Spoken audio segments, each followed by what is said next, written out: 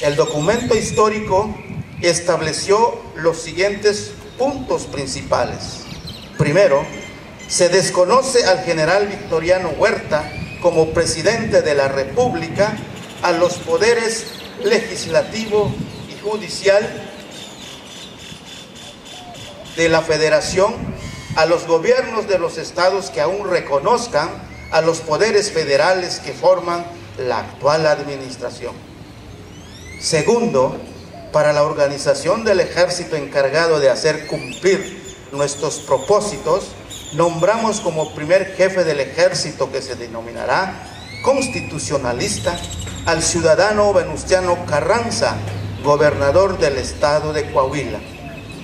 Tercero, al ocupar el ejército constitucionalista la Ciudad de México, se encargará interinamente del poder ejecutivo al ciudadano Venustiano Carranza, primer jefe del ejército o quien lo hubiera sustituido en el mando.